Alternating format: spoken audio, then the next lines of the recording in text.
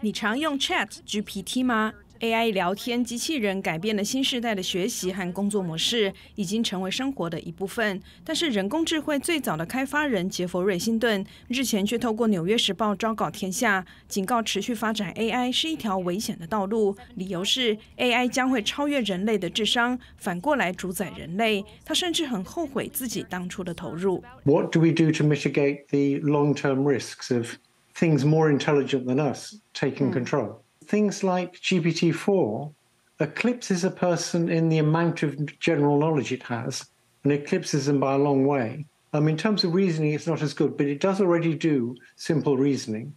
And given the rate of progress, we expect things to get better quite fast. So we need to worry about that. 七十五岁的辛顿在二零一二年开发出让电脑透过影像判读自学，以辨识出实体物件的神经网络。就像人类的大脑是 AI 学习成长的媒介，这套网络系统催生现在的 AI 聊天机器人技术。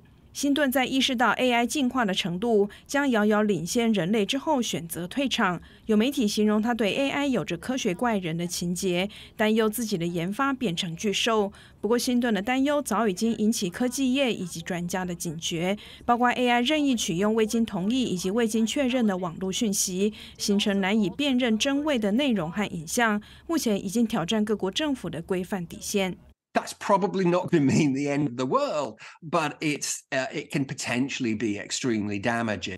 二零二二年，《华盛顿邮报》报道。 Google 工程师雷莫因公开了透露，公司开发的 AI 聊天机器人 Lambda 拥有等同七岁小孩的自主意识，而以违反保密政策遭到解雇。真相为何不得而知，但如何强化 AI 机器人感知人类情绪的能力，的确是目前 AI 专家努力的方向。普渡大学电脑科学教授贝拉尝试将人类的行为形态，包括人类情绪、心理学和人类的意向，结合 AI 城市模组，让机器人。人能够感知人类的情绪变化。Current AI technologies are unable to capture these microscopic expressions on our face from our vocal, you know, patterns, the way we speak.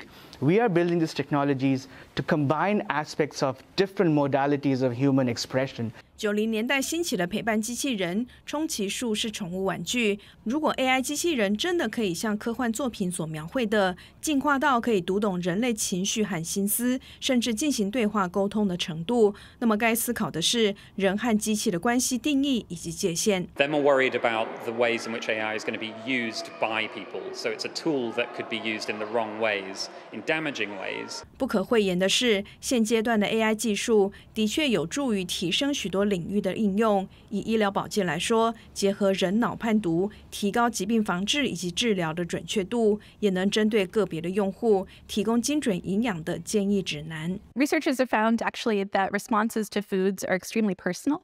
Um, so you could eat a banana and your glucose could be flat, and then you could have a spike in your blood glucose after a cookie. I could have the exact opposite thing. And so it's very hard to provide general guidance to the whole population. AI 是否会教育人类？即使连 AI 教父也无法百分之百给出答案。但是确定的是，只要人能够保有自主意识，事先做好风险控管，无论 AI 工具有多么先进，决策和行动权还是会在人类的手上。公司新闻张淑芬编译。